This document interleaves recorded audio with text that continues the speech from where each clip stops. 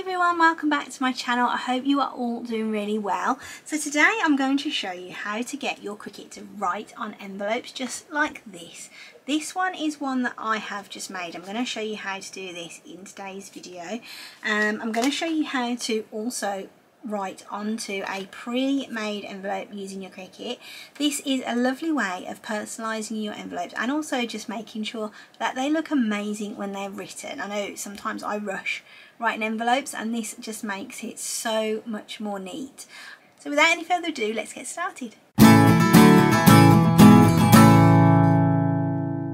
There are a couple of different ways that you can get your Cricut to write on envelopes for you. So you can either write on a ready-made envelope, and you know me, I love a ready-made envelope, or you can actually make an envelope within a project. So if, for instance, we were going to do that, if we went into projects and just clicked on that, and one of the projects that I know has an envelope in it is the pop-up cards. So if I just type in pop-up,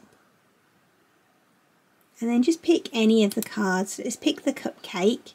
I've made this particular card very recently on the channel, so if you haven't seen that, I'll pop a link to that above for you now and down below in the description.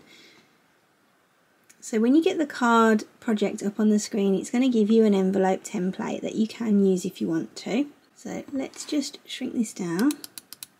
There is the envelope piece in question. There we go. So that is the piece we want. Let's move that over to one side and just get rid of all these other bits for now because we don't need those today. So this is our envelope piece and obviously this envelope is going to match the size of the card that we're making. And at the moment it is on an angle. So when we're writing on the card we need to turn our envelope template around. So you've either got this little handle here that if you hover past this box handle here which does the sizing out a little bit it will turn into this bendy arrow here and you can either use that to just turn your envelope around so the other way to do it is to just click on it and select everything and then come up to this rotate box at the top and just put in the number of degrees that you wish to rotate it. So that is done now. What I'm going to do now is get my address written onto this envelope. So if I come over to text and just choose text and I can start writing my address and my name. So if I put Maximus the dog 147 Bark Lane Dogville and then I'm going to put UK. So there we go. That is Maximus. Oh, why have I put Maximus 2 dog? Let's change that. Maximus the dog. There we go. Okay, that is right. So now what we need to do is make this into the size that we need it to be for the envelope and also we want to make it into a writing font. So first things first, let's change the size. I'm going to just pop that straight down to 36 because I think that will be a pretty good size for the envelope and it looks alright doesn't it? Let's now come up the top here and just take a quick look at the operation type. So the operation at the moment is set as a basic cut. So if we were to send this to the, the machine right now on a mat, it's going to cut all this out, it's going to score these lines and then it's going to actually cut those letters out of the envelope. And of course that is not what we want it to do. So we want it to write on the envelope. So if we click on the drop down box here, and then if we just go here and choose pen, that is now going to write on that envelope for us Maximus the Dog 147 Bark Lane. However, you can see that it is like a bubble writing sort of thing at the moment and we don't want that either do we so let's go up to our fonts and we want to change our fonts now. So you've got three options here. You've either got the Cricut fonts, your system fonts, or you've got bookmarks. If you've saved any fonts previously, they will appear here as your bookmarks. So we need to choose a writing font. I'm going to go back to Cricut and just click on that. And then I'm going to come over here to these filters and I'm going to click there. Now this gives us lots of different options that we can choose to break down the fonts that are displayed to us in the drop down menu. So I'm going to go down here and choose writing and just tick that box. And these are all the different writing fonts that you can use. I like this Alyssa stencil script. It's a really nice one. Um, but I can see there are quite a few others. The seashell one is nice, but that does come out as a bubble writing as well.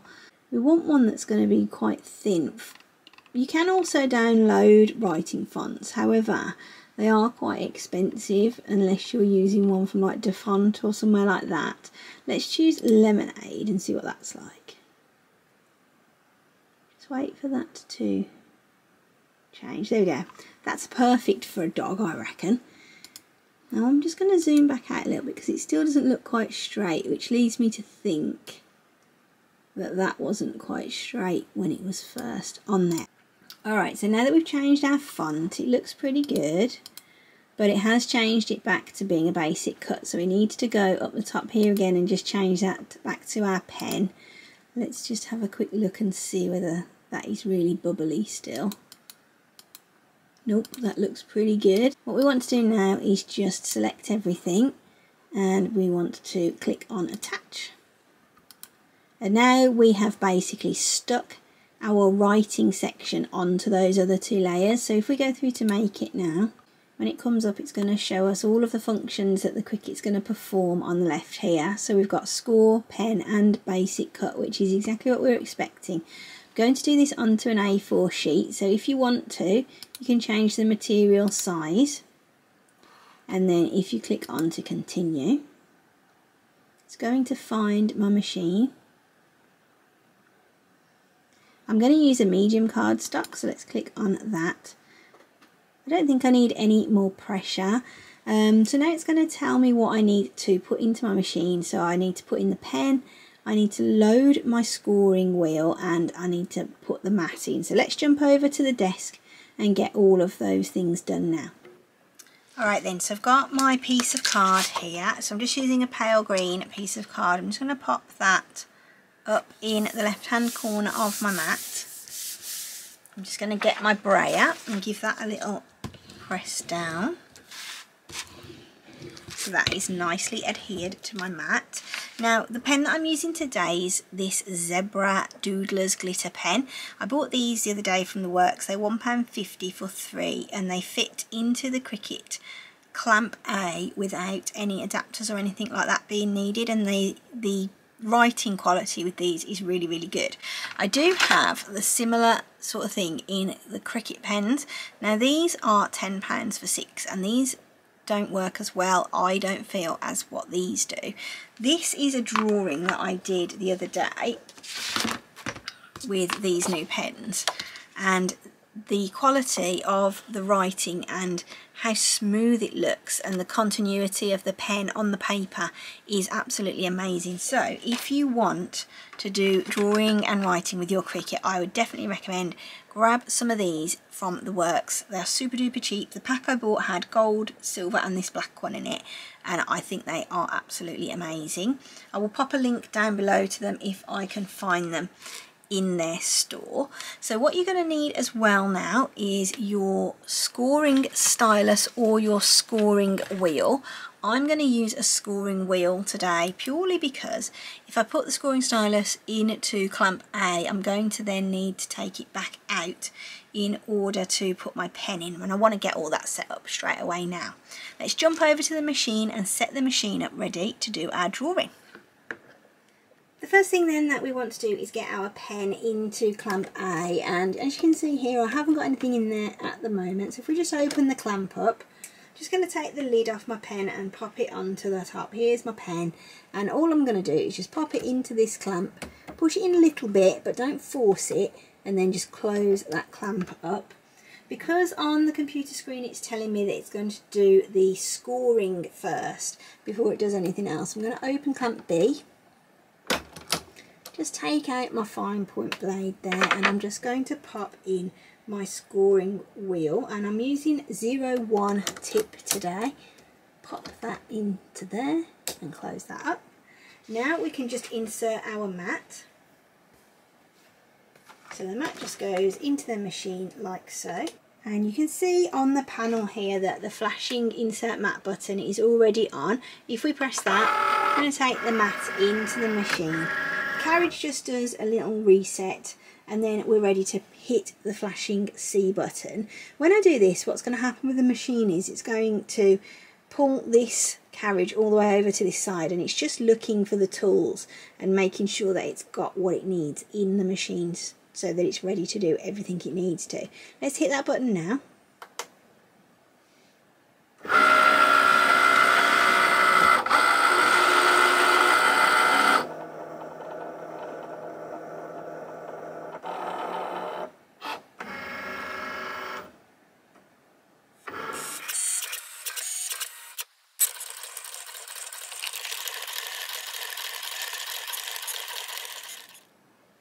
Once all the drawing is complete, it's going to come up on the screen like this with a prompt for you to change the scoring wheel out for the fine point blade. So as you can see on here now, that is telling me to pop that fine point into clamp B and then just hit the go button again. So that's what I'm going to do now. So you can see the drawing is finished. Let's open clamp B. Just take out that scoring wheel and its housing. Then we've got our fine point blade here that we can just pop back into clamp B. The Cricut button is flashing again, so we can just press that. And it's going to now cut the envelope. Again, it's just checking for that tool and making sure we've got the right thing in place.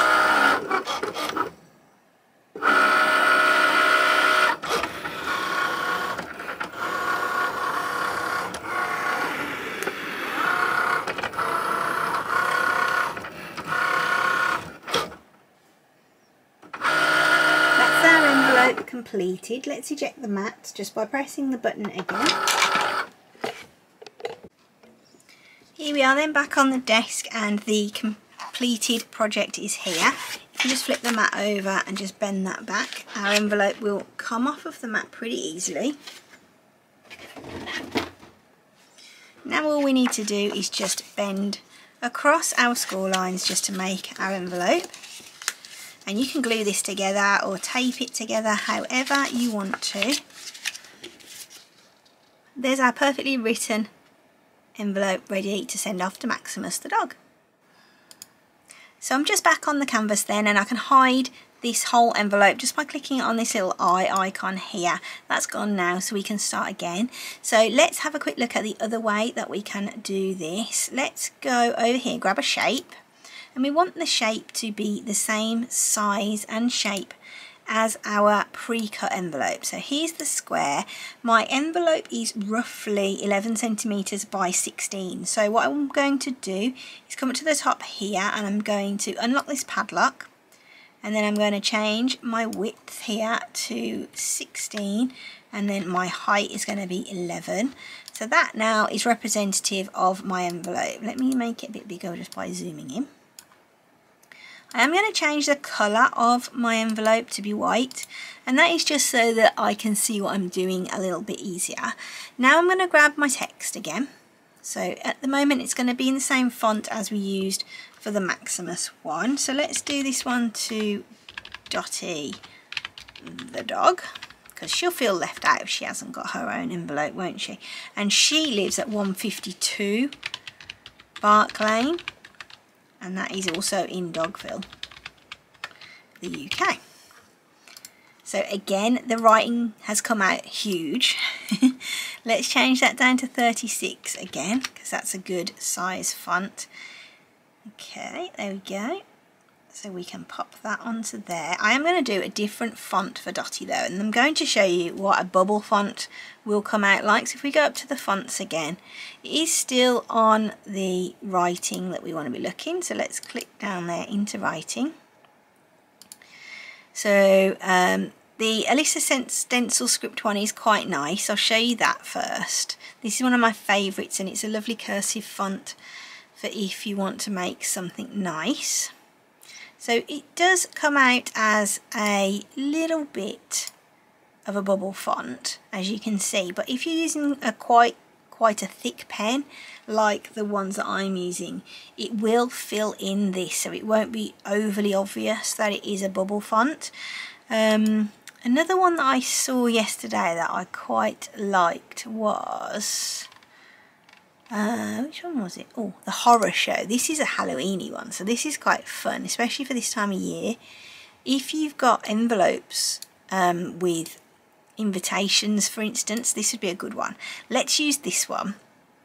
What I'm going to do then is just double check that my operation type is still on pen just by checking at the top here and it is in this instance. So now what I'm going to do is just click on the square I'm happy with the sizing of that for now. Let's just hide the square. And what we want to do is go over to the desk again and get our mat set up. So we'll do that now. Okay, so here's my mat again. These are the envelopes I'm going to be using. They're just craft style 6x4, um, 11 centimetres by 16 centimetres sized envelopes. You can buy these in packs of 25. I get them from my wholesaler.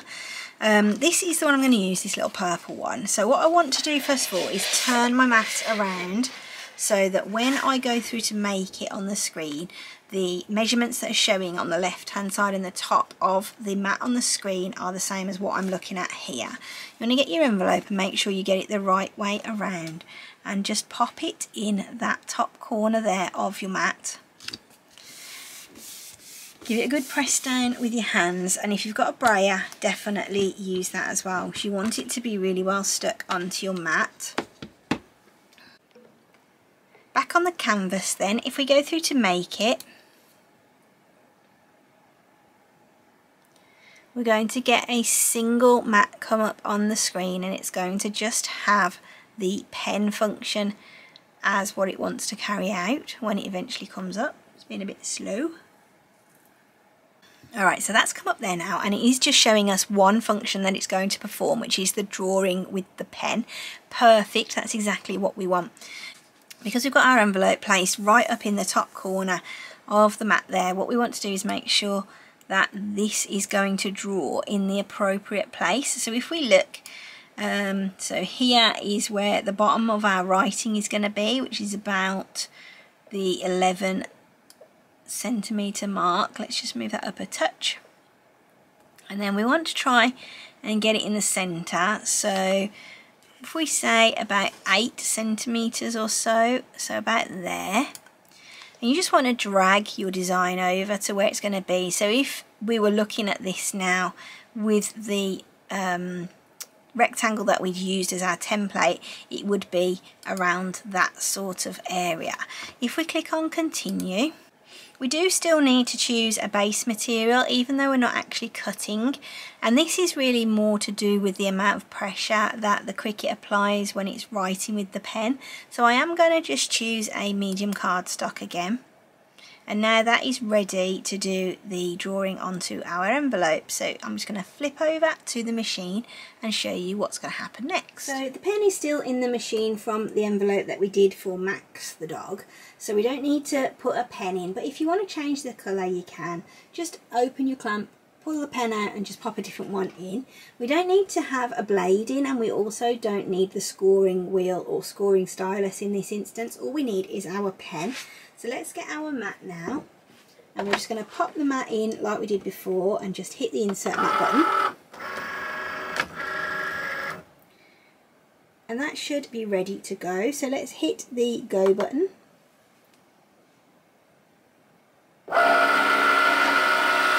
Cricut doesn't need to look for any tools this time because it knows that we're just going to be using the pen. And it's going to start doing its draw. There we go then, that has now written our envelope. It looks absolutely amazing. I'm just going to flip my mat over and get that off there. Now we can pop a letter in there to Dottie inviting her to our awesome Halloween party that we're going to have this year. So there you go, that's two amazing ways that you can get your Cricut to do all the hard work of writing envelopes neatly for you. I hope that you have enjoyed this video and found it useful. If you have, I would love to see you again. So don't forget to subscribe. Drop me any questions or comments that you might have down below. And don't forget to like this video as well. And I hope you have a fabulous week. I'll see you really soon for another another video. Bye!